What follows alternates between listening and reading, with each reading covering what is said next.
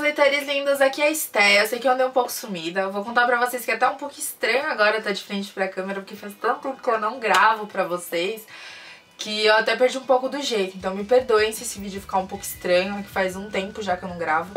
Então tá meio estranho. Mas tudo bem, estou de volta. Eu falo isso muitas vezes, mas eu nem vou ficar enrolando muito, só quero fazer um vídeo legal que você tem me pedido há muito tempo. Então, sem mais promessas, vamos ao vídeo. Então hoje eu vou dar 5 dicas de livros pra vocês saírem da ressaca literária. Uma das razões de eu não estar gravando mais, assim, de eu ter ficado tanto tempo sem gravar, é porque eu estava numa ressaca literária grande. Aliás, eu ando numa ressaca literária, tem sido muito difícil pra mim, assim. Ultimamente parece que eu saio de uma ressaca entre outra e eu leio vários livros ao mesmo tempo, mas não termino nenhum. Eu postei isso no Stories outro dia, pra quem não me segue, arroba B. É... E no Stories eu postei do Instagram falando que, tipo, eu postei cinco livros que eu tava lendo ao mesmo tempo e eu não conseguia terminar nenhum, então eu não tô conseguindo pegar uma atenção nos livros. Mas então eu vou falar pra vocês alguns livros que já me ajudaram a sair da ressaca e quem sabe eles ajudem você também. O primeiro deles é Fiquei com o Seu Número, da Sophie Kinsella. Eu gosto muito da Sophie Kinsella. Na verdade, os livros dela têm um potencial muito grande de te tirar da ressaca literária. Eles são sempre muito divertidos, muito engraçados, então é uma leitura sempre muito leve. E parece que a Sofia ela tem uma queda por essas personagens estabanadas e não são aquelas mulheres, nossa, sensuais, não sei o que, e ao mesmo tempo elas são mulheres muito reais, assim. Eu gosto muito da Sophie por causa disso. Eu acho que são reais as, as mulheres que ela é, fala sobre. Então, Sophie Kinsella é uma ótima dica. Fiquei com seu número, é um, é um livro muito engraçado. Eu super indico pra vocês. O segundo livro, que também é nesse estilo meio chiquilite, é Melancia. Eu acho que muita gente já leu Melancia, mas se você ainda não leu, leia. Melancia é um livro super engraçadinho, assim, ele demora um pouco pra pegar um ritmo, é, mas ainda assim ele é um bom livro pra te tirar da ressaca literária. Eu gosto muito da família Walsh, que é a família da, da Marian Keys, que ela vai contando em cada um dos livros a história de uma irmã. E Melancia foi o que me fez gostar da Marian. Eu acho que é a porta de entrada para a maioria das pessoas que começam a ler Marian Keys. Então é um livro que também é isso, assim. É que eu sou um pouco velha nas minhas leituras, né? Dizem que essa leitura mais quando você tem uns 30 e tal. Eu tenho 24, tô pra fazer 25 agora pouquinho já, daqui um mês. E hum, dizem que quando você é mais velha você entende melhor.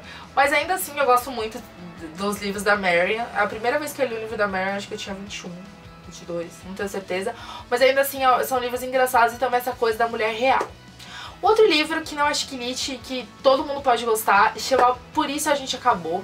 É um livro que eu ganhei de presente de uma amiga. É, tá assinado pelo Daniel Hengler, que é o Lemony Stick. É, Snicket, desculpa gente, é pelo Lemony Snicket. Que é o autor de Desventuras em Série. Mas aí ele, esse livro, ele assina com o nome dele mesmo, que é Daniel. E Por Isso A Gente Acabou é um é divertido, assim, que vai. É um romance mais adolescente, assim. Mas ele é um livro ilustrado. Fazia muito tempo que eu não lia um livro ilustrado quando eu ganhei esse presente. E muito divertido, assim. Ela vai contando motivos de por que ela acabou com o menino. Enfim, eles terminaram. Mas é engraçado porque ela vai contando a história de cada um dos itens. E aí é uma leitura bem leve que faz você esquecer um pouco daquela ressaca que você estava. O quarto livro, eu falei, né? Primeiro fiquei com o seu número, segundo melancia, terceiro por isso a gente acabou. O quarto livro é May Repeller, A Moda que Espanta os Homens. É da Leandra Medini. É muito engraçado esse livro. Eu, eu acharia mais engraçado se não fosse a vida da Leandra, porque coitada, ela já passa por cada coisa. Mas a gente se identifica muito, porque a Leandra passa por cada merda, assim, tanto na vida amorosa, pessoal, é, da carreira dela. Mas é bem legal, porque ela conta de uma forma muito sincera como os eventos aconteceram e você vê que é, é é, é isso, eu acho que os, os, livros que me tiram da ressaca literária são aqueles que eu consigo me identificar, aquela coisa de você rir da sua própria desgraça, eu acho que é muito isso, assim. E Me Repeller é um livro assim, ela fala um pouco sobre o fato, ela é fashionista e tal, e ela relaciona a vida dela com moda, a vida dela é baseada em moda. Eu nem sou uma pessoa que gosta muito de moda, não sou muito ligada nisso, eu já falei várias vezes aqui no canal sobre isso. E mas a Leandra consegue pegar sua atenção mesmo que você não goste de moda, porque ela fala de uma forma tão sincera sobre as coisas da vida que eu acho que fica um pouco difícil de você não conseguir se identificar. Último, minha última dica, na verdade, é uma série que eu, já, eu vou fazer um vídeo falando exatamente sobre ela, que é Element Series, que é da Brittany C. Murphy. é Murphy, Brittany C. Cherry. Desculpa, gente, eu sou horrível com o nome de autor. Estou errando pra caramba hoje, né? Me perdoe. É, são, é uma série de quatro livros. Eu li em inglês. Todos eles estão no Kindle Unlimited.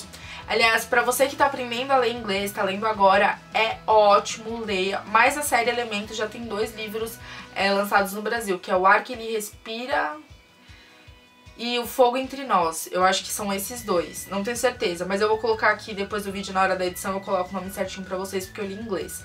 Eu li os quatro livros super rápido, é, aluguei eles através do Kindle Limited. Pra você que tá aprendendo inglês, eu super indico, porque ele tem uma linguagem fácil e tem alguns enriquecedores de vocabulário que o próprio Kindle vai te apontando, tipo, qual é o significado dessas palavras.